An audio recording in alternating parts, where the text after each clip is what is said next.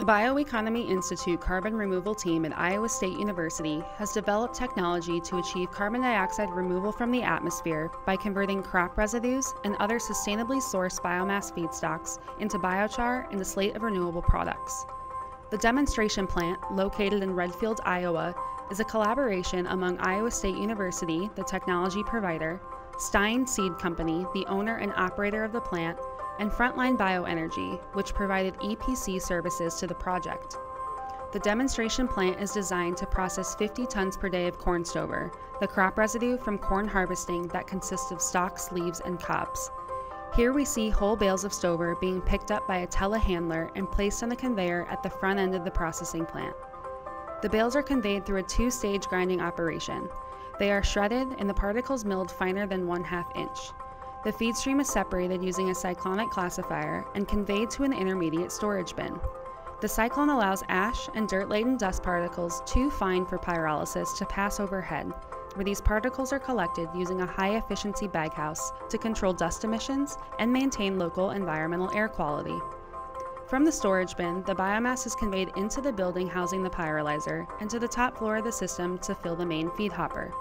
Visible below the conveyor are process modules housing water and gas conditioning equipment to provide utility services to the plant. At the heart of the demonstration plant is the pyrolyzer itself, a fluidized bed reactor containing sand which operates at nearly 1000 degrees Fahrenheit.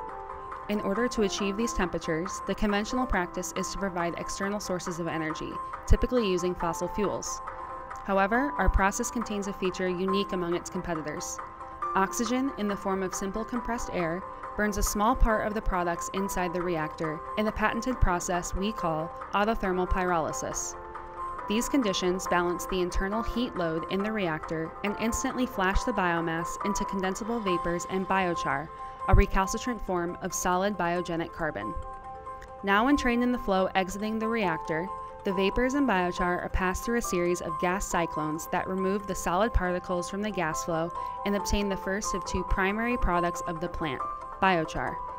Biochar leaving the gas cyclones is hot, dusty, and susceptible to ignition if exposed to air in this state. The biochar is cooled and then conditioned with water to de-dust and remove any remaining heat. In the stabilized form, it is conveyed outside the plant and accumulated for bulk storage. The condensable vapors pass to the next unit operation, which incorporates the second unique feature of the plant, our patented stage fractionation collection technology, which cools and condenses the heaviest fraction of the vapor into high quality bio-oil, an energy rich liquid that can be upgraded to biofuels or bio based products. Our analysis suggests that these additional products, valued at several hundred dollars per ton, are essential to the profitability of biochar enterprises, which may have intrinsic value of only 100 to $200 per ton. We have documented our development of these products and their economic benefits in a series of publications over the last decade. After bio-oil collection, the remaining stream is primarily composed of light organic compounds and non-condensable gases, and is collectively referred to as tail gas. The tail gas is introduced to a thermal oxidizer, which combusts the flammable components of the tail gas in a low NOx burner. A small natural gas pilot light serves to both ignite the gases and maintain sufficiently high combustion temperatures needed to control plant emissions. Once accumulated in sufficient quantity, the conditioned biochar is ready for field application.